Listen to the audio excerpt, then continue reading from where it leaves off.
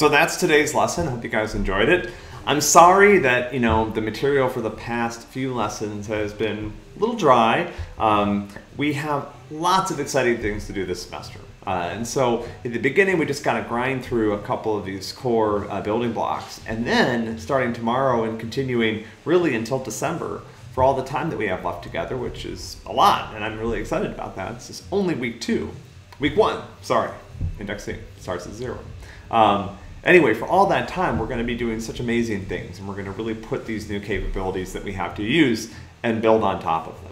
Um, and hopefully at that point, we'll have more time to talk about applications and cool different ways that things work and the impact that computer science is having on the world, all in support of the impact that you'll have on the world once you're done.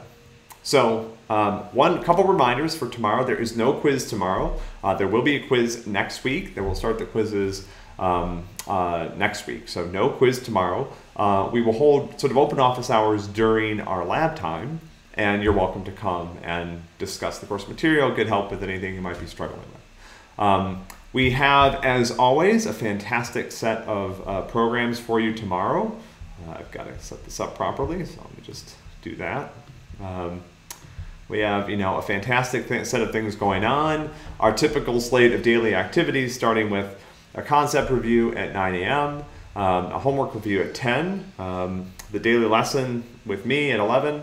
Um, we may move that to Zoom tomorrow, so keep your eyes on the forum for an announcement of a link where you can join me.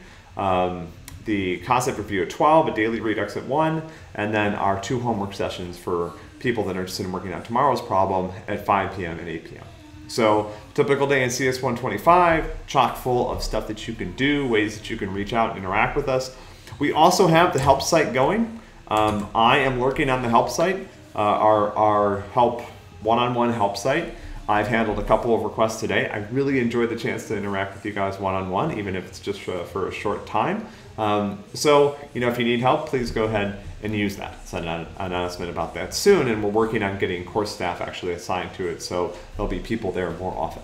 Uh, but when I'm available, which is a lot of the time, I'll have the help site up, and if you happen to stop by, the person who's been doing most of the session so far has been me. So you'll get a chance to meet me, and we'll have a chance to talk a little bit about what you're working on. So I look forward to that. Um, enjoy the rest of your day. Um, hope you enjoyed this lesson. Again, sorry it's a little dry. Um, things are already, I think, really a lot of fun, and will continue to get more fun throughout the course of the semester.